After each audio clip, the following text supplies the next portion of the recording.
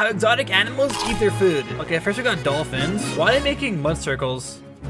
Are they trapping the fish inside the mud circle and then eating it? Bro, that is so smart. Oh, chameleon. I've always loved chameleons. They like walk on like two big toes and they can change like any color as well too. Oh, he's gonna nail that cockroach.